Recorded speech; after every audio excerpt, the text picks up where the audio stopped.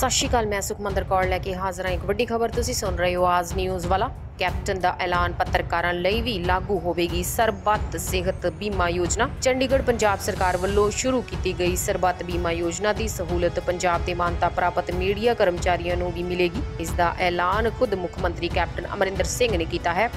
ਐਤਵਾਰ ਨੂੰ ਟਵੀਟ ਤੇ ਇਸ ਗੱਲ ਦੀ ਜਾਣਕਾਰੀ ਸਾਂਝੀ ਕਰਦਿਆਂ ਮੁੱਖ ਮੰਤਰੀ ਨੇ ਕਿਹਾ ਕਿ ਮੀਡੀਆ ਲੋਕ ਰਾਜ ਦਾ ਚੌਥਾ ਥੰਮ ਹੈ ਅਤੇ ਇਸ ਨੇ ਮੀਡੀਆ ਦੀ ਕੌਮ ਤੇ ਮੁਲਕ ਦੀ ਉਸਾਰੀ 'ਚ ਅਹਿਮ ਯੋਗਦਾਨ ਪਾਇਆ ਹੈ। ਇਸ ਯੋਗਦਾਨ ਬਦਲੇ ਟੋਕਨ ਵਜੋਂ ਮੈਂ ਸਰਬੱਤ ਬੀਮਾ ਯੋਜਨਾ ਮੀਡੀਆ ਕਰਮੀਆਂ ਲਈ ਵੀ ਲਾਗੂ ਕਰਨ ਦਾ ਫੈਸਲਾ ਕੀਤਾ ਹੈ, ਜਿਸ ਦਾ ਪ੍ਰੀਮੀਅਮ ਪੰਜਾਬ ਸਰਕਾਰ ਦੇਵੇਗੀ।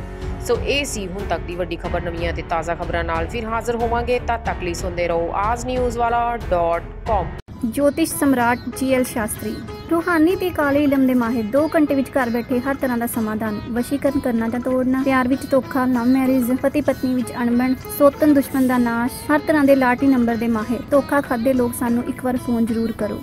81468 13896 81468 13896